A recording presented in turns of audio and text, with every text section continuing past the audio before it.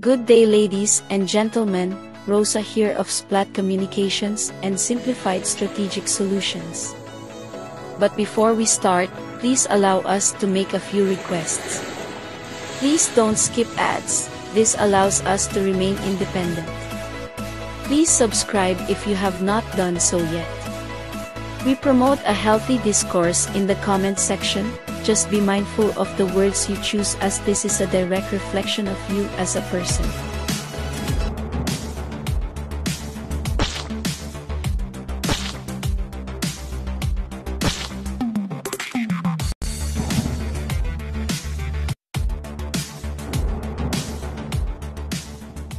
Magandang araw sa lahat, Ed ito ng Splat Communications at Simplified Strategic Solutions. Ang video ngayon ay ukol sa mga kaganapan sa ika-65 birthday ni Pangulong BBM pagkatapos ng pananghalian sa Malacanang kasama ang mga gabinete, mga politiko at iba pang opisyal ng gobyerno. Nagpa-birthday party naman si Pangulong Marcos Jr. sa White Cross Orphanage sa San Juan City. Bukod sa spaghetti at chicken may regalo pa si PBBM sa lahat ng bata sa naturang orphanage. Nagpakain din ang Pangulo sa lahat ng reception centers for abused women and abandoned children ng DSWD nationwide. Muli po, happy birthday President BBM dito na nagtatapos ang ating video. Ano ang masasabi ninyo? Marapat lamang na ilagay ang saloobin sa comment portion. Back to you partner Rosa.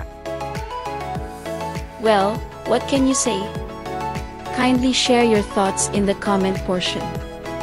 We have reached the end of today's video. In behalf of my partner Rina and the rest of the Splat Communications and Simplified Strategic Solutions team, thank you. Till next time. Stay safe. Rosa out.